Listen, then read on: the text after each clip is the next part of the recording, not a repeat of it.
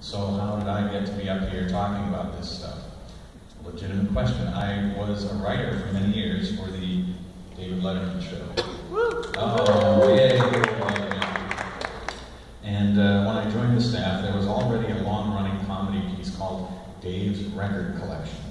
And that consisted of Dave Letterman uh, would hold up actual, unintentionally funny record albums. He would we'd play a little sample. He'd have a clip. Uh, he'd have. Dave's looking over my shoulder. So uh, he'd have a joke after we hear the clip. It was fun, found humor piece. I was the writer going out to look for the raw material, the celebrities who shouldn't have been singing. I know some people here tonight know quite a lot about that through the Hollywood Hi-Fi book. And also horrible, misguided instructional record albums about learn how to touch type and learn how to knit and all that stuff. But I started coming back from these hunting expeditions with some very different albums that at first I didn't really understand what I was getting into. I'll show you, show you a couple. So I would come back with these corporate souvenir records from these conventions or meetings, and they weren't speeches. They were things like, uh, uh, My Insurance Man. that is a musical about selling insurance at an insurance company sales meeting. I thought, well, that's just a comedy gift from the gods right there. That right on, right on the show, and it would be hilarious. And we did, and Dave made a little snarky joke. But weeks later, I was still humming the My Insurance Man theme song. So very catchy. Diesel Dazzle. This is Detroit Diesel Engine Division General Motors, 1966. A whole original, custom written musical about selling and servicing diesel engines. Again, oh my God, this is too good to be true. This seems like something comedy writers must have made up, but no, we hadn't. It was real. And I think we may have gotten a clip from that on. And again, weeks later, I'm still singing the diesel songs to myself. What is going on? I started looking for this stuff actively, going to record shows, digging through the miscellaneous bins of record stores, and I started finding more and more. And I, I, discovered fairly early on that I was at a disadvantage because I had grown up knowing nothing about actual Broadway shows. And so when I found this one, the music from Four to Five Years Future, I don't know if you can see that. This is a Ford tractor dealer show from 1959. That's my insurance man. That's Diesel Dazzle. Yeah. Glory living color. Diesel Dazzle, in two words, by the way, you get the whole theory of the industrial musical genre. Get the heavy industry and the showbiz glamour. Diesel Dazzle, it's just perfect. Five year future, I showed this one to a friend of mine who looked on the back cover where there were credits, writing credits, and he said, Oh my God, do you know who these people are? And I admitted that I didn't. Turned out Sheldon Harnick and Jerry Bock wrote Fiddler on the Roof five years after they did their little Ford tractor dealership. But like so many writers and performers, especially in the Broadway world, but in other cities as well, these industrial shows were a fantastic sort of income. They paid wonderfully, but also you would get to practice your craft.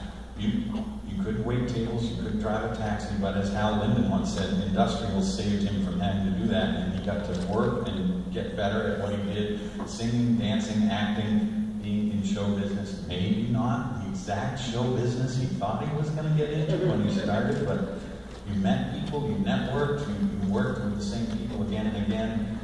It was a terrific hidden showbiz world for a long time. So I started researching more. I would track down people, ask them what they had done. They were stunned that anyone had found these records and wanted to ask them about it. These were all pressed, usually a few hundred to give to people who'd been at the show. These were not in record stores. The public couldn't buy them, so they were amazed that anyone knew about this.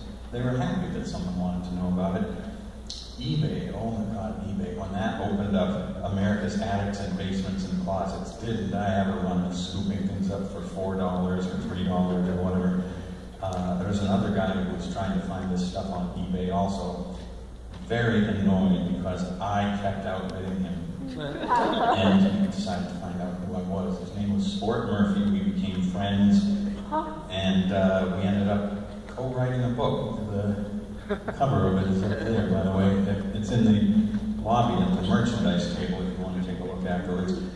Everything's coming up profits, which is actually the name of a horrible little show for a floor tile company. But it again combined, it was a rip-off of Everything's Coming Up Roses. So you get the Broadway stuff and the, the business stuff in one. And some of these things were not good at all. They were often just uh, rewrites or parodies. You take a popular melody and slap some new lyrics onto it that would would be about your company's products or the new sales strategy or whatever, but this stuff would be original music and lyrics that was way, way better than I thought it needed to be or should have been. That just conceptually thrilled me. It just did not seem that Peppy show tunes and data about tractor transmissions went together. but I loved it, and I, I was finding all I could, and Sport and I wrote this book, and I thought, well, that's probably about it what more is there to say? We didn't fit every record in there. We kind of covered the genre, but now the reason we're here tonight is because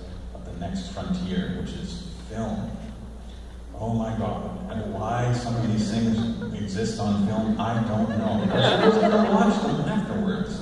Why? I don't know. But boy, am I glad they, they, they exist.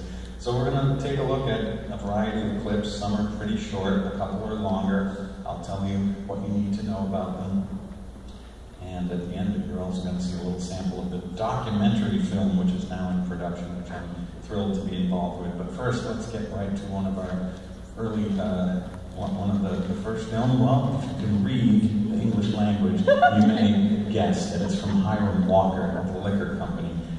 They uh, had a 1974 fall meeting, and they talk about Canadian Club, or CC. They talk about the company president, a guy by the name of Jack Music.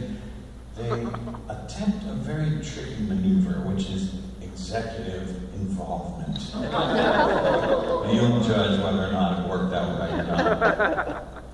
There's also, uh, and it's 1974, and it looks at, but there is one garment in particular that I think may haunt your dreams for months to come.